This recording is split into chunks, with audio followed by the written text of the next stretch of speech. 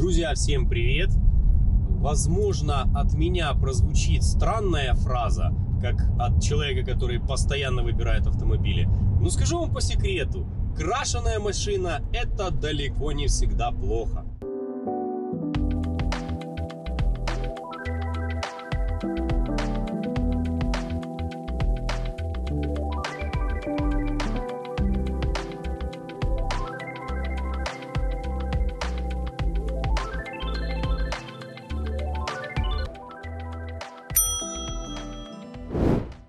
Том, что очень много комментариев в формате «Почему ты придираешься к покраске автомобиля?» Да я объясню почему.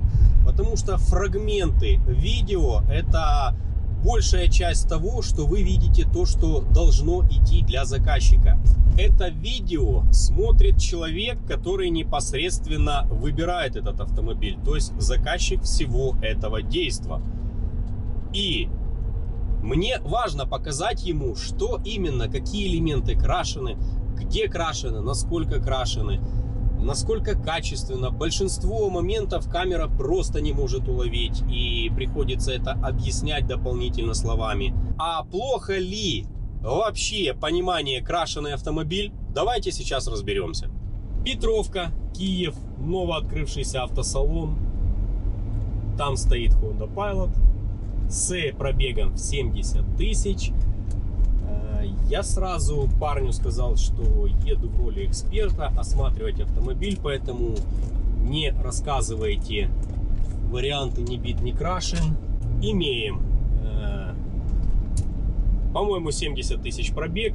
Ответ на вопрос, что с автомобилем. Ответ простой.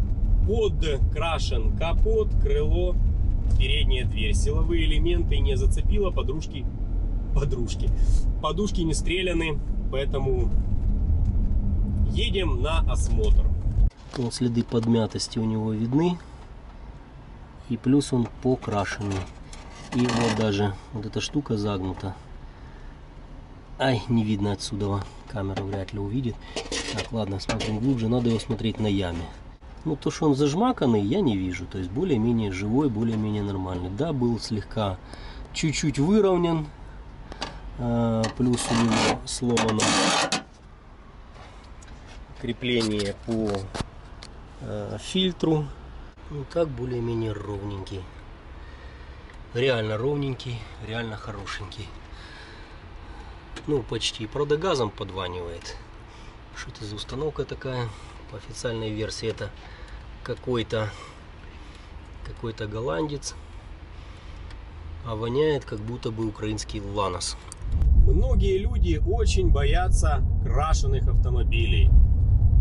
Первая причина это то что может быть некая четвертная варка, некое понимание того, что автомобиль из кусков собран, в общем страх. И этот страх заставляет людей искать автомобили те, которые не крашены. Но на самом деле все далеко не так печально, как многие люди себе думают. Все отлично, за исключением вот этих вот вещей, которые уже начали подрываться. И плюс тут именно здесь значения не мерил, но предполагаю, что здесь, да нет, и шпаклевки здесь немного. Видать, покрасили не очень хорошо. Еще одна причина, почему люди не хотят крашеный автомобиль покупать, это потому что со временем краска вздувается. Ее подрывают, получаются всякие сначала в виде как паучки такие, кто прыщи их называет, кто паучки, кто как. Неважно, краска вздувается, лопается, пузырится. И все это опять-таки из-за того, что плохо прогрунтовано. Или же где-то под краской пошла пробиваться коррозия. То есть вот здесь вот много шпаклевки. Здесь вот был замернут, завернут капот. IGC Automotive стекло у него стоит. Да, шпаклевки на этом капоте дофига.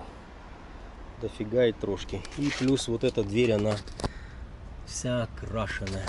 А задняя, что-то какой-то стрёмный напыл у него. И задняя тоже крашеная.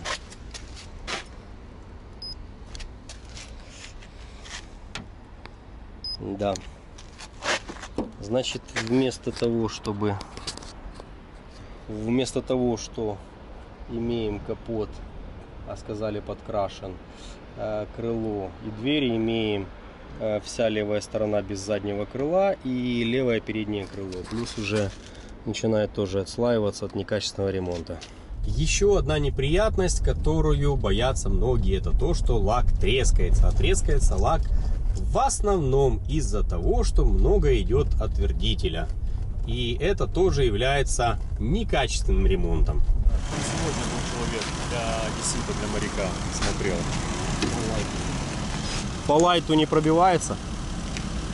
Нет, ДТП по лайту. Я к тому, что ДТП по лайту и не пробивается по значениям. Сейчас я все транслирую, пока оно читается. Посмо- Посмотрим, там же. Окей, да. Сейчас по сравнению с тем, что из Америки А правое крыло. Ну, то есть это совсем не заводские значения. Окей. Так, ну заявлено, а, тут тоже крашено, уже вижу. Уже э, вижу. Вы самое главное, как вот э, клиент ваш, дайте человеку оценку, как эксперта. Что я могу вам сказать, э, Это да. машины, машины я э, в сутки 3-4 в неделю продаю. Машине скажу как есть, ну дня 4-5 ее не будет. Я смотрю просто по состоянию и по звонкам по приезду. Не, возможно. Я ее просто только недавно сейчас разместил. Скажу, как- скажу просто как Это Реально джекпот. Ну, до джекпота это, Это- далеко. Джекпот, это джекпот. джекпот это тогда, когда не битая машина, а когда она... Они сейчас все битые, даже новые салоны. Бывает попадает. Человек покупает машину, при блокировке, то крыло, то еще что-то. Ну, возможно, где-то оно и так. Я же видел, что сейчас продают такие есть пилоты. Не, с пилотами, да, согласен, может быть. А можно, когда там делали ТО последнее, на каком пробеге? На пробеге там, блядь, Типа 45, да? ну типа 45. Это плюс-минус. Я думаю, что плюс-минус это где-то полтинник.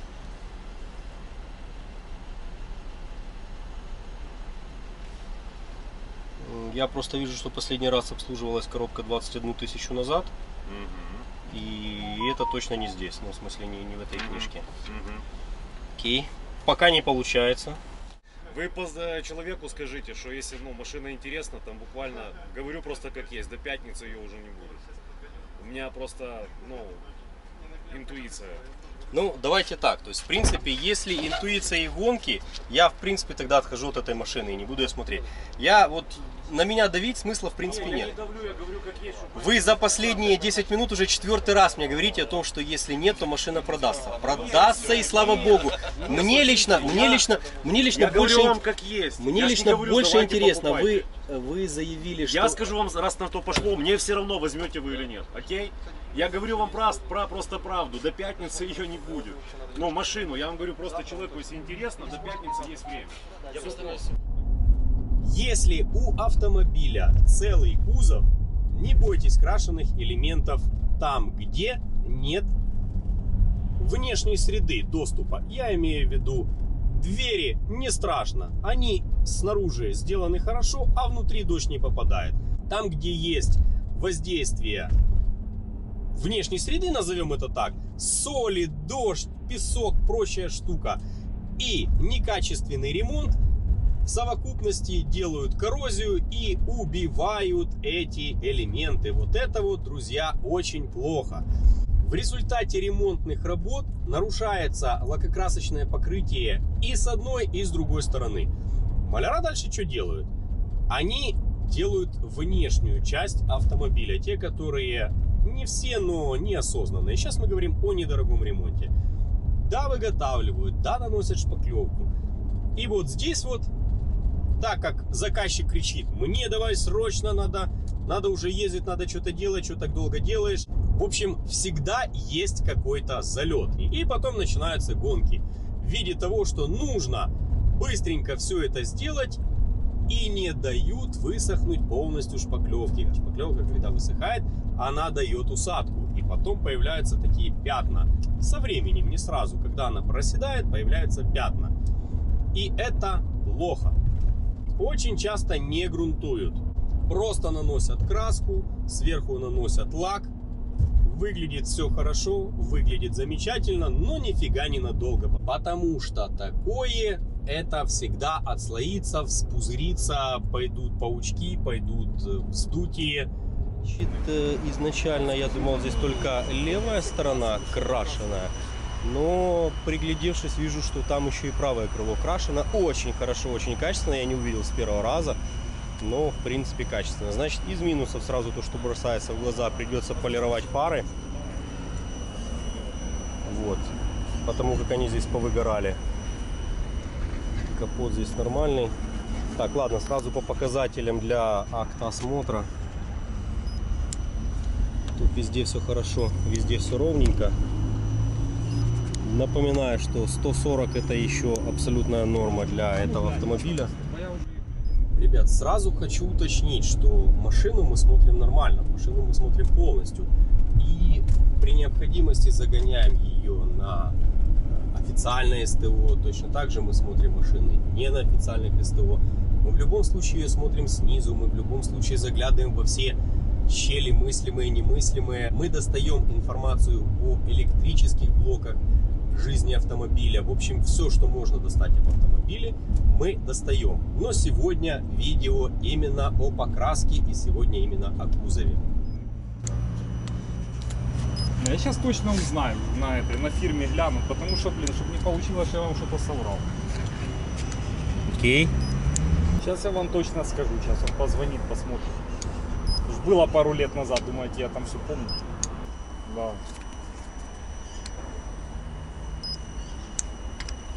Подожди, так мы оба крыла красили?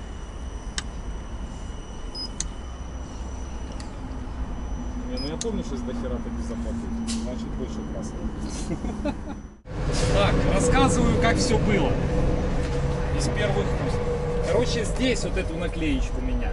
С этой стороны у меня царапина была, вот это, что я вам показывал, по крылу и по этому, и по дверке. И мне красили они вот эту дверку и вот это крыло. А с той стороны я просто крыло перекрашивал, потому что у меня собака задрала это крыло. То есть без шпаклевки та сторона вообще левая. А здесь, он сказал, была глубокая царапина на крыле. Там есть шпаклевка. Ну, там... И там есть место, где ее чуть больше миллиметра. Но это не суть. Сейчас Если там были только царапины, вот, вот давайте такие, покажу. типа, Давайте покажу. вот здесь. Вот здесь были царапины. Ну, я помню крыло зацарапанное. Я думал, то с той стороны было. Ну, здесь оно же не мятое не было. Нафига сюда накладывать было шпаклевку. И с тем сравнить. Ну, уж как-то там миллиметры оно считает, или микроны, или что. Микроны. Ну, Ну вот здесь вот есть один момент, где есть глубокая царапина. Вот здесь. Вот. блин, ну не может быть. Царапина Да не- была... пока- я- нет, смотрите, я я- была, я, я вам не с той Здесь, показал. здесь ничего не варено. Я залез под подкрылок, я вот нащупал, что оно здесь Нет, так- абсолютно ровно. Ну как можно Воз- говорить, воз- если машина не билась?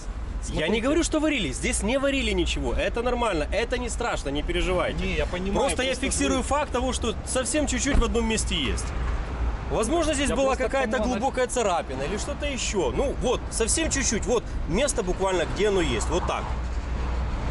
И все. Ну, если там глубокая царапина Вот или где-то... был- вот здесь была глубокая царапина, вот, вот так. Вот она шла по вот этой бумажке. Вот так мне жена как цепанула, а вот здесь было. Вот здесь они по-любому там как там что-то накладывали. Ну вот на уровне вот той наклейки. Выше там уже ничего по идее. С той всё. стороны больше. Ну а как может быть, если с Вот- той вот- стороны ничего не Вот как-то так. Ну проверь, как он этим прибором. Здесь дверь, да, здесь дверь вот тут чуть-чуть шпаклевана. Ну, Ну вот я же говорю, где-то в том районе, в районе наклейки. Они же как-то выводили его красиво. Один из подписчиков задал мне очень хороший вопрос. Стоит ли красить автомобиль перед продажей для того, чтобы он выглядел лучше, но при этом понимая, что крашеный автомобиль падает в цене. У меня нету единого ответа какого-то универсального для всех. Есть понимание того, что крашеный автомобиль должен стоить дешевле, потому что у него был какой-то ремонт. Как вариант, ну, конечно, нужно смотреть в каждой в каждом случае в частном именно на то место, которое нужно красить.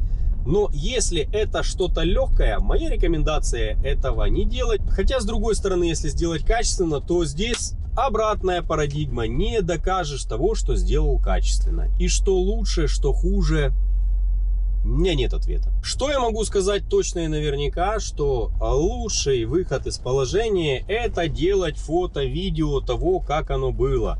И то, что это было действительно не страшно, и то, что это было действительно царапина. И то, что это не скрывать, где делали. Потому что многие, многие автосервисы, они дают гарантию на свои работы. И а это в среднем около 3-5 лет. Поэтому, понимая, что есть гарантия около 3-5 лет, запросто можно покупать такой автомобиль. В нашем случае мы выбрали тот автомобиль, который был лучше покрашен.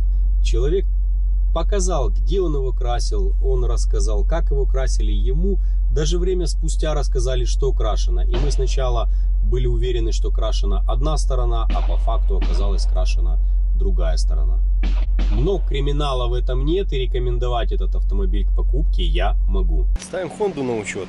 И приехал такой вот, ну, я-то понимаю, что это не с американского аукциона машина, потому как э, в таком формате она не встанет на учет. Но это украинская машина, которую сейчас реально переоформят. И потом встречайте, не бит, не крашен на рынках Украины. Практически 4 часа оформляли автомобиль. Сегодня как-то оно слегка тяжело получилось. И сейчас уже все. Счастливый владелец поедет в сторону дальше, домой. Ну или куда-нибудь там бороздить просторы родной Украины. Ну а с вами был Николай Тарануха, Киев, компания 1 Авто. Всем удачи на дорогах, всем пока-пока.